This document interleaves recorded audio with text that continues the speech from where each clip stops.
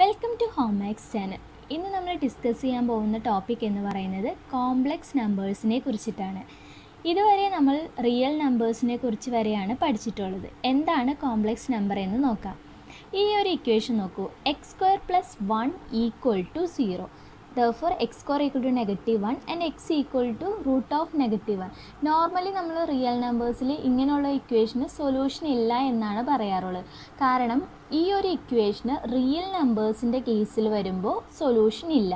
പക്ഷേ നമുക്കിതിന്റെ ഒരു ഹയർ ഓർഡറിലോട്ട് നമ്മൾ പോവുകയാണ്. അതായത് ഇങ്ങനെയുള്ള ഇക്വേഷൻസിന് സൊല്യൂഷൻ കണ്ടുപിടിക്കാൻ വേണ്ടിയിട്ട് നമ്മൾ കണ്ടുപിടിച്ച നമ്പേഴ്സാണ് കോംപ്ലക്സ് നമ്പേഴ്സ് എന്ന് പറയുന്നത്. ഇവിടെ റൂട്ട് ഓഫ് നെഗറ്റീവ് വണ്ണിന് ഐ എന്നൊരു ലെറ്റർ ഉപയോഗിച്ചിട്ടാണ് നമ്മൾ ഡിനോട്ട് ചെയ്യുന്നത്. അതായത് ജനറലി നമ്മൾ a x square plus b x plus c equal to zero എന്നുള്ളൊരു ക്വാഡ്രാറ്റിക് ഇക്വേഷൻ എടുക്കുകയാണെന്നുണ്ടെങ്കിൽ അതിന്റെ ഡിസ്ക്രിമിനന്റ് നെഗറ്റീവ് ആണെങ്കിൽ discriminant b square minus four a c less than zero ആണെങ്കിൽ നമ്മൾ നോർമലി പറയുന്നത് it has no solution in the real numbers real നമ്പേഴ്സിൽ ഇങ്ങനെയുള്ള ഇക്വേഷൻസിന് solution ഇല്ല എന്നാണ് പറയാറ്. പക്ഷേ റിയൽ നമ്പേഴ്സിനേക്കാളും കുറച്ചുകൂടി നമ്പേഴ്സ് കൂടുതലുള്ളതാണ് കോംപ്ലക്സ് നമ്പേഴ്സ് എന്ന് പറയുന്നത്. കോംപ്ലക്സ് നമ്പേഴ്സിൽ ഇങ്ങനെയുള്ള ക്വാഡ്രാറ്റിക് ഇക്വേഷൻസിന് സൊല്യൂഷൻസ് പോസിബിളാണ് അങ്ങനെയുള്ള സൊല്യൂഷൻസ് കണ്ടുപിടിക്കാൻ വേണ്ടിയിട്ടാണ് നമ്മൾ കോംപ്ലക്സ് നമ്പേഴ്സിനെ കുറിച്ച് പഠിക്കാൻ പോകുന്നത്. അപ്പോൾ മെയിനായിട്ട് ശ്രദ്ധിക്കേണ്ടത് ഈ റൂട്ട് ഓഫ് നെഗറ്റീവ് വൺ എന്ന വാല്യൂവിനെയാണ് ഐ വെച്ചിട്ട് ഡിനോട്ട് ചെയ്യുന്നത്. ഇനി നമുക്ക് കൂടുതലായിട്ട് കോംപ്ലക്സ് നമ്പേഴ്സിനെ കുറിച്ച് നോക്കാം. A number of the form a plus i b is defined to be a complex number ഒരു കോംപ്ലക്സ് നമ്പറിനെ നമ്മൾ ജനറലായിട്ട് ഡിനോട്ട് ചെയ്യുന്നത് ഇതുപോലെയാണ് എ പ്ലസ് ഐ ബി എന്നുള്ളൊരു ഫോമിലാണ് ഈ എ എന്ന് പറയുന്നത് ഈ കോംപ്ലക്സ് നമ്പറിന് കറസ്പോണ്ടിങ് ആയിട്ടുള്ള റിയൽ പാർട്ട് എന്നാണ് പറയുന്നത്.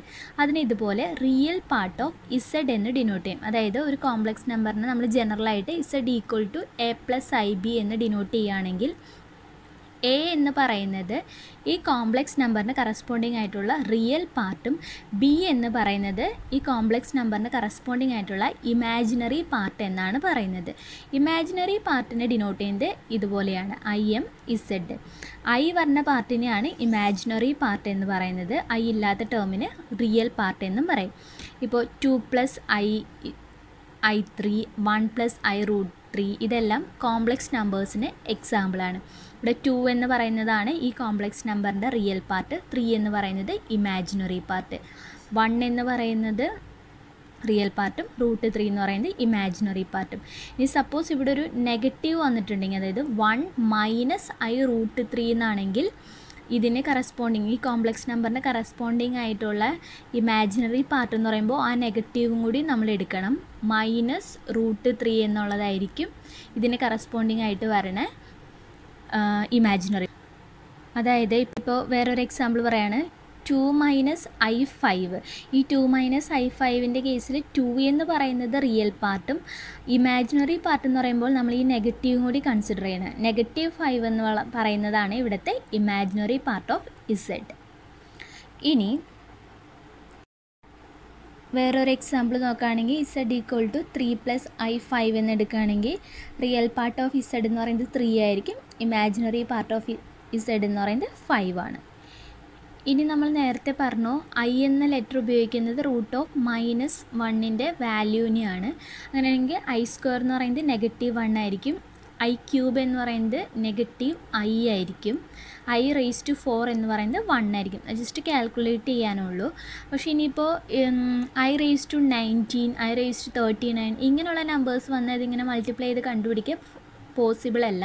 അപ്പോൾ അതിന് വേണ്ടിയിട്ട് നമ്മൾ ജനറലായിട്ട് ഇതുപോലൊരു ഇക്വേഷൻ വെച്ചിട്ടാണ് ഡിനോട്ട് ചെയ്യുന്നത്. അതായത് i raise to four k അതായത് ഫോറിന്റെ ഒരു മൾട്ടിപ്പിളാണ് ഇവിടുത്തെ പവർ വരണമെങ്കിൽ അതിന്റെ വാല്യൂ എന്ന് പറയുന്നത് വൺ ആയിരിക്കും.